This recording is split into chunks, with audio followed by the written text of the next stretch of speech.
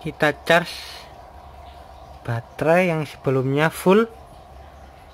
Kalau dihubungkan antara dua ini di sini terdeteksi full. Kita langsung pencet repair. Repair. Berarti itu kan ada komponen aki yang rusak jadi coba kita repair apakah berhasil kita akan tunggu kelanjutannya. Setelah satu jam saya pencet lagi repairnya untuk proses pengisiannya dan penampilannya seperti ini. Baterai dianggap tidak full lagi dan cuma dua yang terisi. Bisa kita lihat? Kita lihat kelanjutannya. Sekarang sudah satu jam dari pertama kali saya pencet tombol repairnya ini. Ya kita tunggu lagi kelanjutannya. Setelah 8 jam pengisian aki akan terdeteksi full. Bisa kita lihat di sini.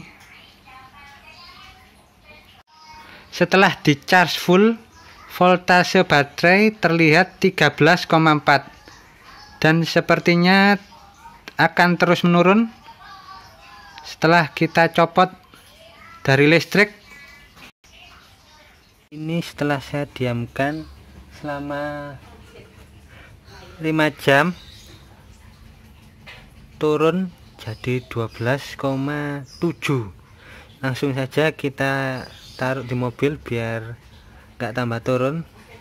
Langsung aja ditaruh di mobil voltasenya 12,9 dengan akinya seperti ini kita akan coba menyalakannya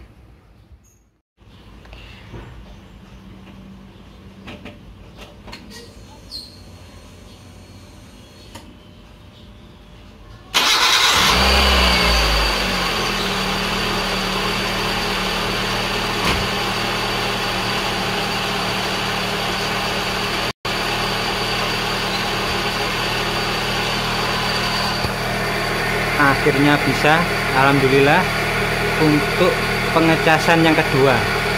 Sebelumnya juga pernah dicas namun saya lupa untuk memanasi mobil jadi apinya tidak bisa untuk menyalakan mobilnya.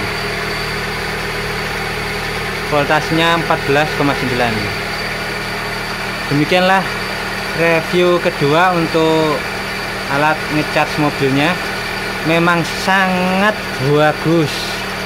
Assalamualaikum warahmatullahi wabarakatuh